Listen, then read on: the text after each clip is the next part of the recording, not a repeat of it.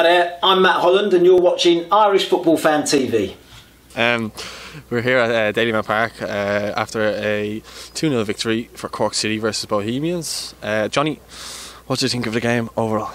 Uh, I thought Cork were just a, a, better class the right way through. I thought, you know, I think we spoke at half time. We had a slight bit of difference of opinion maybe at half time. You, you may not have heard that on uh, the Instagram story, apparently. but uh, oh, Apparently, yeah, because it was a bit low. But uh, what I was saying is at half time is that I thought Cork were the dominant team. And I know Bohs had a, you know, they came into it at the end of the first half. You know, they huffed and puffed. But I, I felt that Cork were just, you know, that little bit of class ahead of them and, and looked more comfortable throughout. And I think 2 0 overall reflects the game.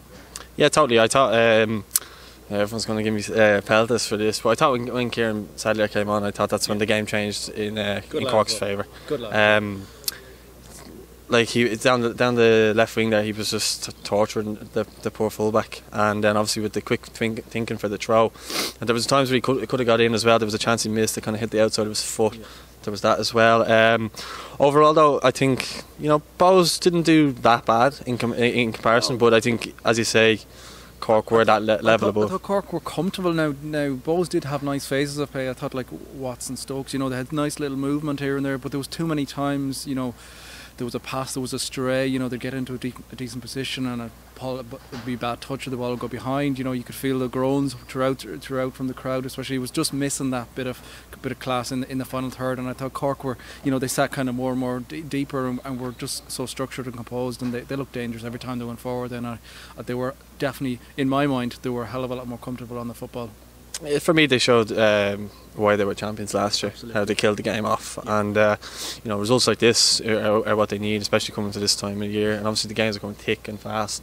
Um, Mondays, Fridays, um, they're going to need to get these types of victories, and they're coming a long way up from Cork as well. Yeah, I know. And look, I think we glanced by it there, but the, the finish from Cummins, top bins after after the like obviously Kieran is the, the quick way to think with the throw defender lunges in and he's through, and you're just thinking, here's 2 0, and then wow, top ins. Like, beautiful, beautiful finish. Uh, um, but yeah, no, they, they and you know mixed in with the the result uh, with Dundalk, um, I got it wrong in my I predict prediction this week. I I thought Dundalk would hold off for the win, but um, I think a lot of people. You might have gone for a draw, did I you? Did, yeah. Oh, bastard!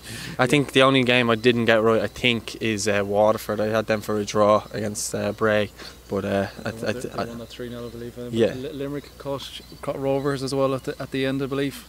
Oh well, then I didn't. Uh, I had uh, Rovers to win. I think I can't remember actually. Yeah. I will check it out we'll when I get home. It out. We'll we'll share it out. Yeah. Uh, but yeah, no, that was one that I got wrong, and it was. Uh, if you're not su- subscribed or entered into that competition already, make sure you do get in for next week's uh, game weeks and next Friday night. And uh, yeah, I think this is a game. I think there's a couple of games on Monday as well.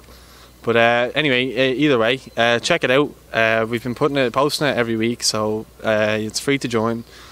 And we got a new, I think, 11 new people joined the league today. yeah, there's a couple of more entries there on the Friday evening. Uh, but yeah, no, everyone join. Um, great game of football, great, great night. You know, I was looking it forward. Was, yeah. I was looking forward to this one all day. You know, looking at the sun is beating down. It's freezing now, but it was sunny earlier on. Would you believe? And uh, yeah, good, good, good, good night's entertainment here. Absolutely. Thanks for watching. Uh, have a lovely weekend.